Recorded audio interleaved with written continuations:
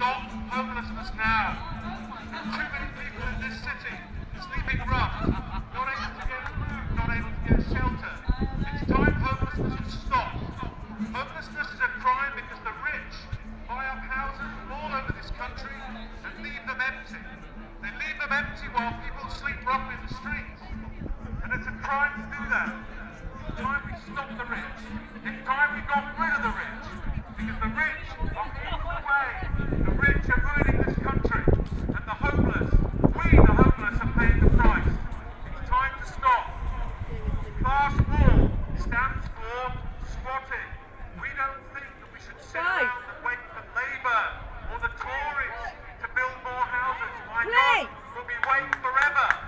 Dead before we're finished. Class war! We need housing now because people are dying on the streets of this country. Tens of thousands of No justice, no peace. Fuck the police! Class war! One war! Class war! War. Uh, it's good we just standing there just waiting there, but what the fuck?